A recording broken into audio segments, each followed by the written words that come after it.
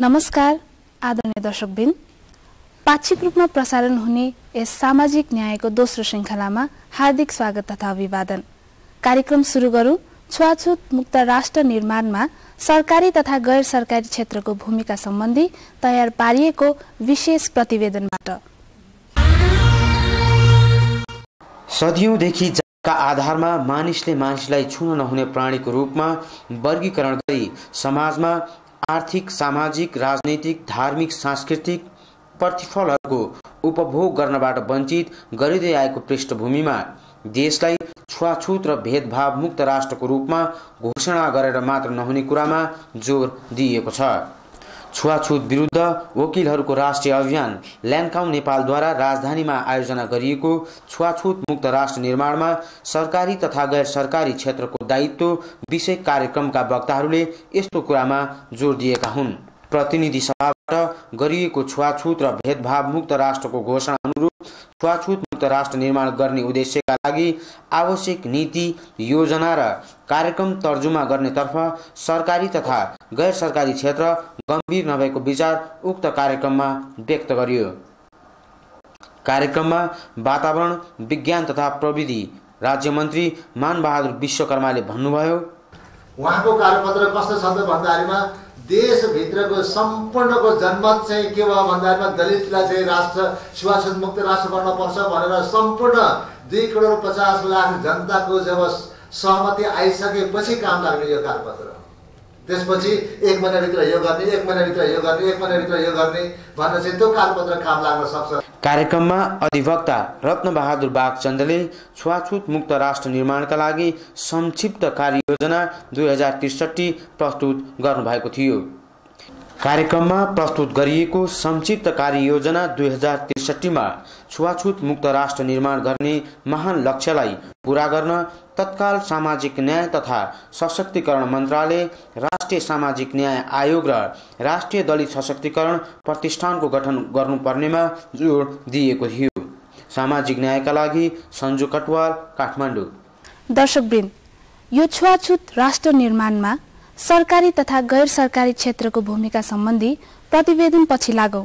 आजको कार्यक्रमको विषयतर्फ।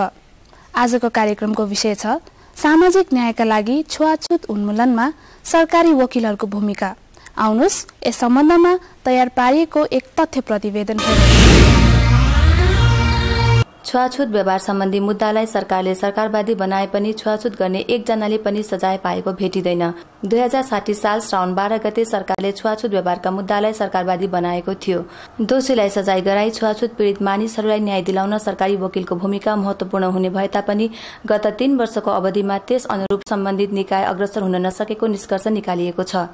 छुवाछुत विरूद्ध वकिलहरूको राष्ट्रिय अभियान ल्यान्डकाउ नेपालद्वारा सामाजिक न्यायका लागि छुवाछुत उन्मूलनमा सरकारी वकिलहरूको भूमिकाको समीक्षा गर्ने सन्दर्भमा छुवाछुत मुद्दा सरकारवादी भई चल्ने भए तापनि मुद्दाको अनुसन्धान कार्यविधि र व्यवस्था पीड़ितको पहुँच पुग्ने किसिमको सरल र सहज हुन नसकेको कारण छुवाछुत अपराधको घटना दिनहु जसो घट्ने गरे पनि कुनै पनि दोषीलाई सजाय हुन सकेको पाइँदैन।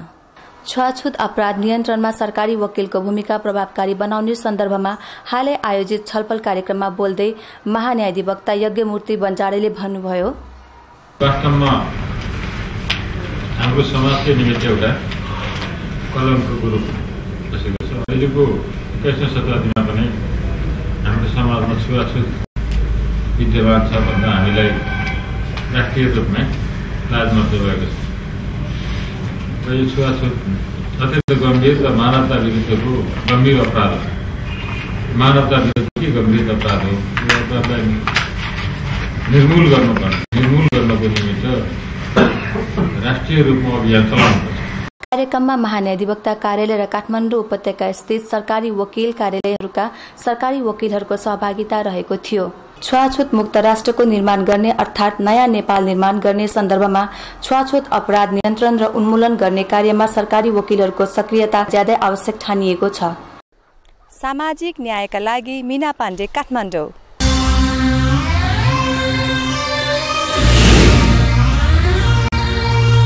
सरकारी वकिलको महत्त्वपूर्ण भूमिका हुन्छ। किनभने यो छुवाछुत सम्बन्धी अहिले अपराधलाई अनुसूचीमा राखेको छ जसले गर्दा यसलाई सरकारवादी मुद्दा बनाएर चलाउन र अहिले हाम्रो कानुनले यसलाई फौजदारी अभियोगको रूपमा सरकारवादी नै सरकारी वकिलले अदालत समक्ष मुद्दा दायर गरेर यसलाई सरकारवादी मुद्दा बनाएर मुद्दा अगाडि बढाउने क्रम छ र अदालतमा यसलाई गहन मुद्दा गहन फौजदारी मुद्दाको रूपमा हेरिन्छ।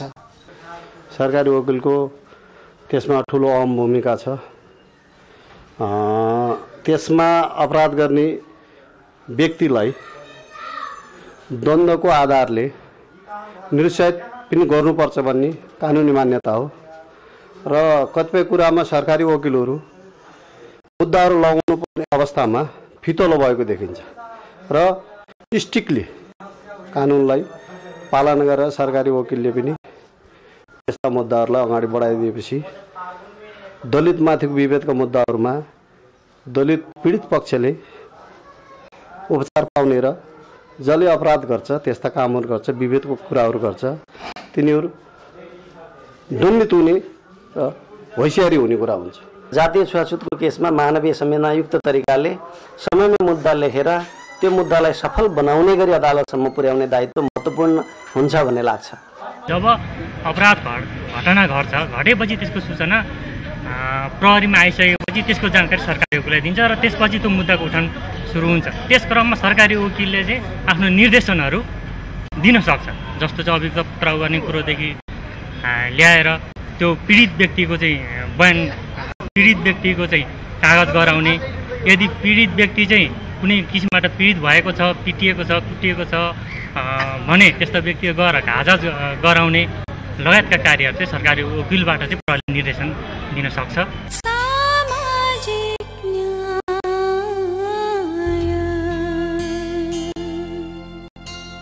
दर्शकवृन्द अब यहाँहरू समक्ष प्रस्तुत गर्दैछौँ सामाजिक न्यायका लागि छुवाछुत उन्मूलनमा सरकारी वकिलहरूको भूमिकाको सम्बन्धमा छलफल।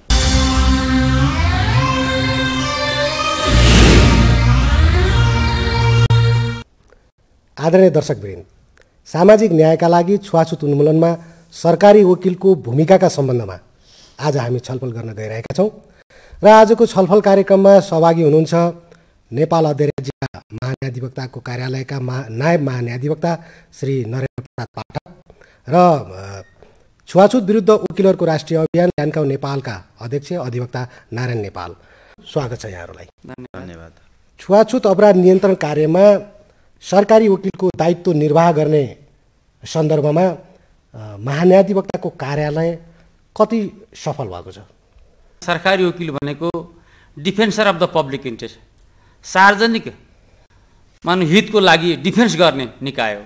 त त्यसले गर्दाखेरि जहाँ छुवाछुतका इस्युहरू उठेका छन् जसलाई समाजमा एउटा कानुनले एउटा दण्डनीय कार्यको रूपमा परिभाषित गरेका छ भने त्यस्तो अवस्थामा एउटा सरकारी वकिलको अभियोजनकर्ताको हैसियतबाट पब्लिक डिफेन्स पब्लिक इन्ट्रेस्टको डिफेन्सरको हैसियतबाट सरकारी वकिलको गहन भूमिका हुन्छ।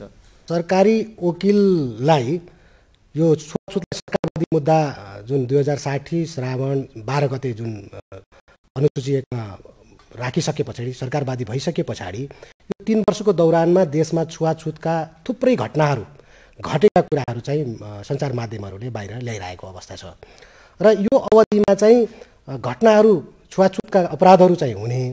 तर त्यसमा चाहिँ पीडि पीडितले चाहिँ न्यायिक उपचार पाएको र पीडकले सजाय पाएको कुरा चाहिँ कहीँ कतैबाट पनि सुन्न नआइरहेको परिस्थितिमा सरकारी वकिलहरूले कति त्यस्तो किसिमको दायित्व निर्वाह गर्यो भनेर यहाँले भन्नुपर्दा कसरी भन्नुहुन्छ? सरकारी वकिलले एकैचोटि कुनै पनि वारदात अथवा काहीँ घटना घट्यो भनेर त्यसमा उसको डाइरेक्ट इन्भल्भमेन्ट हुँदैन। प्रत्यक्ष उसको संलग्नता हुँदैन। कुनै पनि कसुर कुनै पनि अपराध भइसकेपछि त्यसको सूचना प्रहरीमा दर्ता भइसकेपछि प्रहरीबाट इन्भेस्टिगेसनको क्रममा जब आउँछ अनि त्यसपछि सरकारी गुलको इन्भल्भमेन्ट अथवा संलग्नता रहन्छ। त त्यस्तो अवस्थामा जहाँ इस्युलाई प्रहरी कार्यालयमा दर्ता गरिन्छ त्यसपछि मात्रै सरकारी वकिलको संलग्नता हुने भएको हुनाले समाजमा प्रत्येक घटेका प्रत्येक घटनाहरूलाई त्यसमा सरकारी वकिलले म डाइरेक्टली त्यसमा अभियोजन गर्छु भनेर पनि हाम्रो कानुनी व्यवस्थाले अहिलेको प्रक्रिया भइहाल्यो हाम्रो अहिलेको पद्धति र प्रणालीले सरकारी वकिलमा त्यसमा पहुँच छैन। यो यो तिन वर्षको दौरानमा छुवाछुत नियन्त्रण गर्ने कार्यमा सरकारी वकिलको भूमिका कस्तो पाउनुहुन्छ? अदलको महलमा भएका दण्डका व्यवस्थाहरूले जातीय छुवाछुत गर्ने पीडकहरूलाई एउटा कैद जरिवानाको सन्दर्भमा चाहिँ अन्यलपूर्ण स्थिति चाहिँ सिर्जना गरेको छ। त छुवाछुत जन्ने घटनाहरू र छुवाछुतका चाहिँ केसहरू नै सम्बन्धित निकायसम्म पुलिस प्रशासनसम्म पुगि नरहेको स्थिति छ। पुलिस प्रशासनसम्म नै छुवाछुत जन्ने घटनाहरू र छुवाछुत जन्ने अपराधका कुराहरूको चाहिँ जाहेरी नपुगिसकेको स्थितिमा सरकारी वकिलको भूमिका त्यति बेला गौण देखिनु स्वाभाविक नै हो। मेरा फेरि अर्कोचोटि पनि हामी यसमा छलफल गर्न सक्छौँ।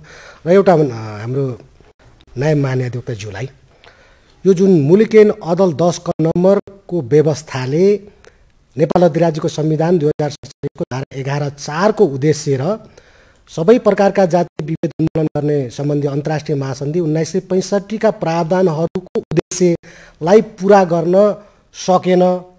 र अर्को के भन्दाखेरि छुवाछुत अपराध अनुसन्धान प्रक्रियामा पीडितहरूको पहुँच सरल भएन सुगम भएन त्यो चाहिँ उनीहरूको पहुँच पुग्ने किसिमको त्यो पनि व्यवस्था भएन र पीडकहरूलाई दोषीहरूलाई उचित दण्ड सजायको व्यवस्था पनि भएन र त्यस पछाडि पीडितहरूलाई जुन राहत हुनुपर्ने जुन क्षतिपूर्तिको कुरा त्यो पनि भएन भन्ने कुराहरूसहित राखेर ल्यान्डकाउ नेपालले सर्वोच्च अदालतमा रिट दायर गरेपछि सम्मानित सर्वोच्च अदालतले कानुन न्याय तथा संसदीय व्यवस्था मन्त्रालयको नाममा निर्देशात्मक आदेश जारी गरेको छ।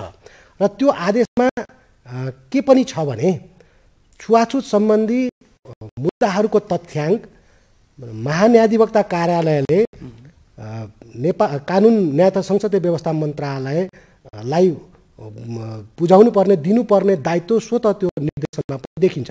छुवाछुत सम्बन्धी मुद्दाहरूको तथ्याङ्क जुन मन्त्रालयमा बुझाएको अवस्था छ कि के छ? छुवाछुत सम्बन्धी मुद्दाहरू एकदम नगण्य रूपमा पेश भइराखेको छ। किनभने मैले अघि भने सरकारी वकिल भनेको सार्वजनिक हितको प्रतिरक्षी पनि हो। त्यसले गर्दा जो पीडकहरू छन् जो पीडितहरू छन् समाजमा उनीहरूले त्यो सूचना कहाँ दिने कसलाई दिने त्यसको प्रतिरक्षा कसले गरिदिन्छ भन्ने कुराको नोटिस आम रूपमा जनतामा जो पीडितहरू छन् तिनीहरूमा जान सकिरहेको अवस्था छैन। त्यो त्यसले गर्दा समाजमा अनगिन्ती घटनाहरू घटिराखेका छन्। तर त्यसको लागि ती अपराधीहरूलाई जसले त्यो घटनाहरू घटाइरहेका छन् तिनीहरूलाई पर्याप्त सजायको व्यवस्था दायरामा आइरहेको अवस्था छैन। यो तपाईँ तपाईँ हाम्रो छर्लङ्ग छ। हामी सरकारी वकिलहरू विभिन्न फोरमहरूबाट विभिन्न क्षेत्रहरूबाट अरू विभिन्न मार्फत अरू सिभिल सोसाइटी मार्फत पनि वास्तवमा यो मुद्दा चाहिँ अनुसूचिभित्र समावेश भएको छ। तपाईँहरूले यस्तो काहीँ यस्तो घटना घटेको छ भने सूचना दिनुहोस्। त्यसको प्रतिरक्षा सरकारी वकिलले गरिदिन्छ। अथवा काहीँ पुलिसले त्यस्तो सूचना लिएन भने पनि तपाईँहरू सरकारी वकिलको समक्ष जानुहोस्। सरकारी वकिलले तपाईँहरूलाई मद्दत गर्छ भन्ने जुन एउटा मेसेज हो त्यो चाहिँ सिभिल सोसाइटी तपाईँहरू जस्तो संस्थाले कमसेकम दिनुपर्ने अवस्था मैले देखिरहेको छु।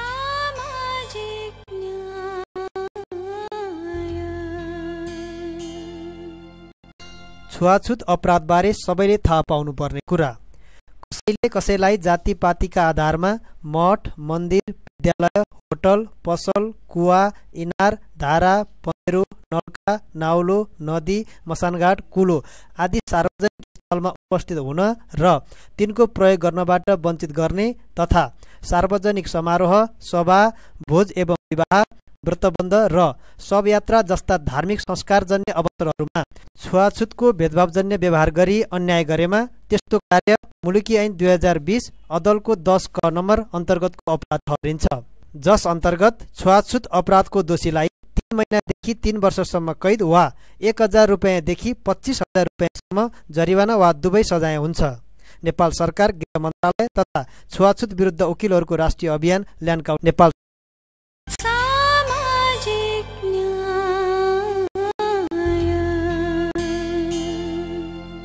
यहाँको अब्जर्भेसनमा के पाउनु भएको छ? मुद्दाहरूको सम्बन्धमा। मैले देखेको छुवाछुत जन्ने व्यवहार र छुवाछुतका घटनाबाट हर दिन कथित दलित वर्गका दलित समुदायका व्यक्तिहरू चाहिँ पीडित भइरहेका छन्। यस्तो अखबारको पन्ना हुँदैन जहाँ छुवाछुतका घटना नघटेका दिन होस् र हामीले त्यस्तो किसिमको समाचार पढ्न नपरेको दिन होस् हरेक दिन छुवाछुत जन्य व्यवहार र छुवाछुतका घटनाबाट आम रूपमा चाहिँ मानिसहरू चाहिँ पीडित भइरहेको स्थिति छ। यो स्थितिमा एक त छुवाछुत जन्य व्यवहारका घटनाहरूको चाहिँ पुलिस प्रशासनसम्म जाहेरी नै नपुग्ने। यो सन्दर्भमा दोषी को भन्दाखेरि दोषी हाम्रो संरचना छ। सरकारवादी मुद्दा भइसके पछाडि आम नागरिकको कर्तव्य हो दलितमाथि चाहिँ छुवाछुत जन्य व्यवहार भइरहेको छ तर जान्ने बुझ्नेले पनि त्यो घटना चाहिँ पुलिस प्रशासनसम्म नलग्ने। यो एउटा विडम्बनापूर्ण स्थिति देखिएको छ। अर्कोतिर छुवाछुत जन्य व्यवहारका घटनाहरू पुलिस प्रशासनमा गइसकेको स्थितिमा गएका छन् धेरै घटनाहरू। धेरै पीडित व्यक्तिहरू चाहिँ पुलिस प्रशासनमा गएका छन् र पुलिस प्रशासनमा जाने बेलामा त्यो मुद्दा नै त्यो जाहेरी दरखास्त नै दर्ता नगर्ने प्रवृत्ति चरम रूपमा देखिएको छ। यो सबैभन्दा खतरनाक प्रवृत्ति छ। किन भन्दाखेरि पुलिस प्रशासनमा दलित वर्गको दलित समुदायको पहुँच नहुने यहाँ डर धाक धम्की दिने र मुद्दे दर्ता नहुने। मुद्दा दर्ता भइसकेको स्थितिमा पनि अवैधानिक ढङ्गबाट चाहिँ मिलापत्र दिन मिलापत्र गराउने एउटा मानसिकताको विकास गराइदिने मिलापत्र गर्नुपर्छ भनेर डर धाक धम्की देखाइदिने अर्को यो खतरनाक प्रवृत्ति देखिएको छ। तत्पश्चात छुवाछुत जन्य व्यवहारका घटनाहरू यदा कदा दर्ता भइहाले। जारी दरखास्तको रूपमा दर्ता भइहाले पनि यस्ता कतिपय घटना छन् जुन घटनामा सरकारी वकिलले चाहिँ मुद्दा चाहिँ नचल्ने भनेर चाहिँ निर्णय गरेको छ। सरकारी वकिलसँग राइट छ मुद्दा चलाउने नचलाउने भनेर। र सरकारी वकिलहरूको संवेदनशीलता छुवाछुत जन्य अपराध र छुवाछुत जन्य मुद्दाको सन्दर्भमा चाहिँ वास्तवमा यसलाई म्याच्योर गर्नुपर्छ यो मुद्दालाई र अदालतसम्म लग्नुपर्छ भन्ने मानसिकताको चाहिँ कमी हो कि। किन भन्दाखेरि हामीले त्यस्तो घटना देखेका छौँ। कथित दलित वर्गका कुनै पनि व्यक्ति सरकारी वकिल नभएका कारणले र ती व्यक्तिहरूको सन्दर्भमा चाहिँ परेका मुद्दाहरूको सन्दर्भमा सरकारी वकिलले जातकै कारणले पुरा पो भएको हो कि भन्ने पनि आभास चाहिँ हुन्छ। नेपालले पनि त्यो कुरा भन्नुभयो कि सरकारी वकिलहरूमा जातीय पूर्वाग्रह जुन एउटा चाहिँ आफ्नो राष्ट्र सेवकको हिसाबले कर्तव्य पालनाको पालनको दौरानमा जुन कानुनले तोकेको र सामनेको जुन अभियुक्त र पीडितलाई जुन हेर्नुपर्ने न्यायको सिद्धान्त भन्दा पनि पीडक कुन जाति समुदायको र पीडित पीडित कुन जाति समुदायको हो भन्ने कुराको ख्याल गरेर अनि कसलाई फेभर गर्नुपर्छ भन्ने हिसाबले आफू कुन जातको भएको कारणले अथवा त्यो कुराको चाहिँ एउटा त्यसमा प्रभावहरू देखिएको कुरा चाहिँ उहाँले पनि बताउनु भयो र यहाँलाई म एउटा जानकारी गराउँ कि दुई हजार त्रि त्रिपन्न सालमा एउटा यस्तो किसिमको छुवाछुत सम्बन्धी मुद्दा जसलाई चाहिँ त्यतिखेर सार्वजनिक मुद्दाको रूपमा चाहिँ अपराधको अनुसन्धान भइकन प्रहरीले सरकारी वकिलसँग लगेको अवस्था र सरकारी वकिलले त्यो मुद्दालाई चाहिँ जातीय पूर्वाग्रहकै कारणले गर्दाखेरि नचलाउने निर्णय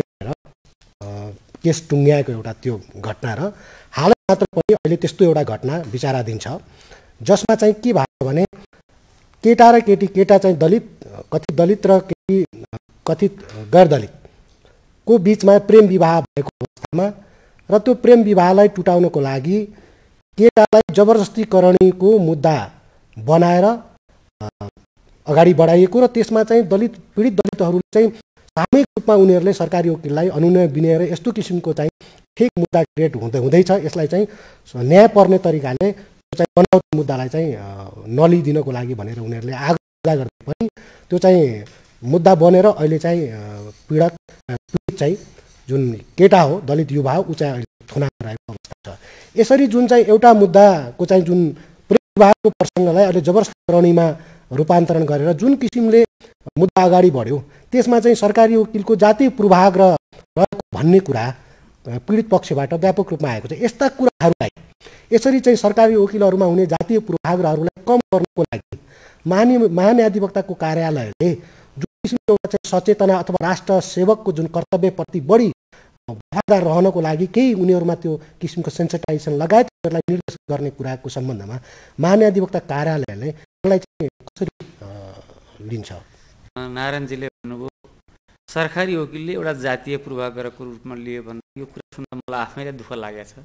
त्यस्तो भयो भने तपाईँहरू समयमै मान्यता कार्यालयमा आएर त्यसको इन्फर्मेसन दिनुभयो भने हामी त्यसलाई पनि हामी आफ्नो संस्थागत रूपमा पनि कारवाही गर्न सक्ने अवस्थामा हुन्छौँ। जहाँसम्म सरकारी वकिलले यस्ता जातीय विभेदका कुराहरूमा छुवाछुतका कुराहरूमा जति सेन्साइज हुनुपर्ने हो त्यो हुन सकिरहेको छैन। ध्यानकाउ नेपालले यो सामाजिक न्यायका लागि छुवाछुत उन्मूलनमा सरकारी वकिलहरूको भूमिका सम्बन्धी संक्षिप्त योजना दुई हजार त्रिसठी भनेर बनाएर यो महाधिवक्ताज्यू समक्ष प्रस्तुत गरिसकेको अवस्था छ।